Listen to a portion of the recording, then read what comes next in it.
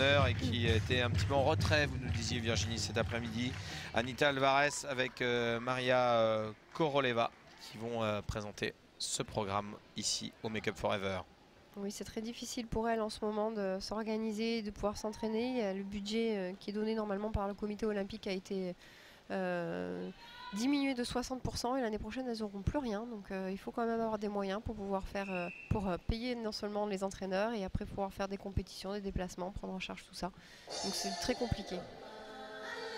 Actuellement on a une Française qui est un, peu dans la, à la tête de cette fédération parce qu'elle est DTN, donc directrice technique nationale et aussi entraîneur puisque il n'y a plus d'entraîneur. Elle, cumule les casquettes. Tout à fait.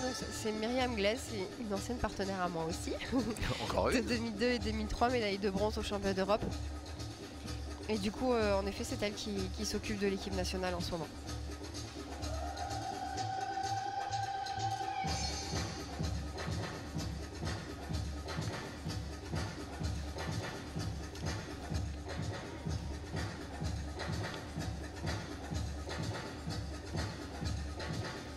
Avec deux filles d'expériences différentes, puisque Maria avait arrêté, elle est revenue, et Anita par contre est une jeune nageuse qui est vraiment en, devenir. Elle nage un petit peu espacée aussi ces deux nageuses.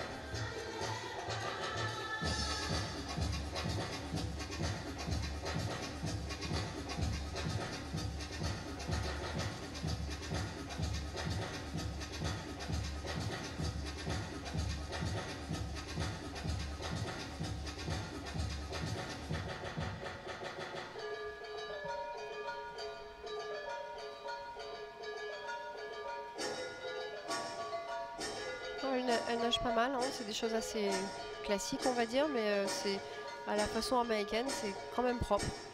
C'est bien exécuté.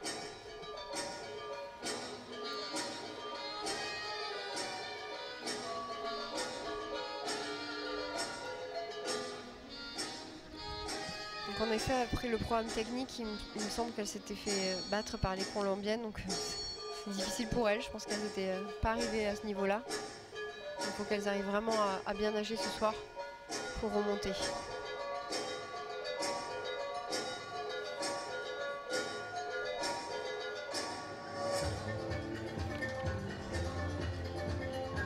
Et puis en quelques années, elles ont changé beaucoup de lieux de, centre national. Elles étaient euh, il y, a, 3, ou 4 ans à Indianapolis. L'année dernière, elles étaient vers Santa Clara. Et cette année, elles sont plus vers euh, au-dessus de San Francisco. Donc voilà, tout ça, fait que c'est pas très stable et on n'arrive pas trop à construire les choses correctement dans ces conditions.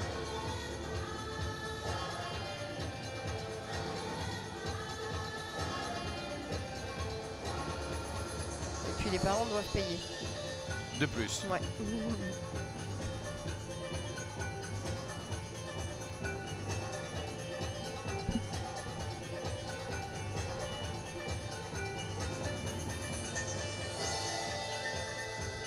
C'est intéressant là au niveau de cette figure. Les descentes et les obliques. Tu peux tomber sur la verticale mais on sent quand même qu'il y a du contrôle, c'est drôle. Jolie fin, on reste sur une note haute, dynamique et très synchro.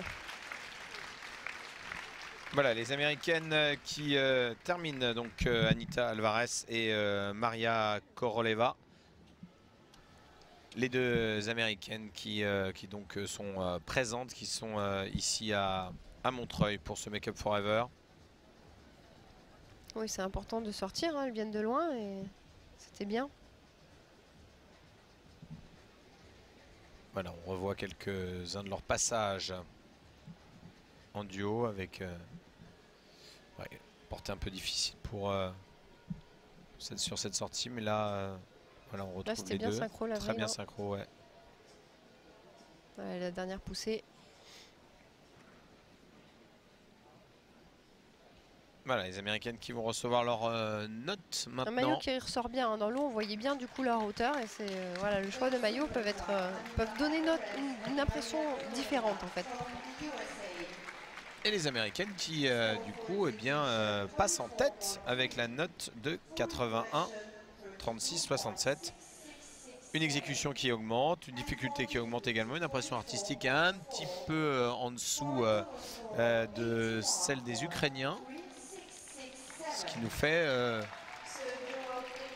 donc une note de 81, 36, 67, ce que je vous disais il y a quelques instants. Prennent donc la, la première place.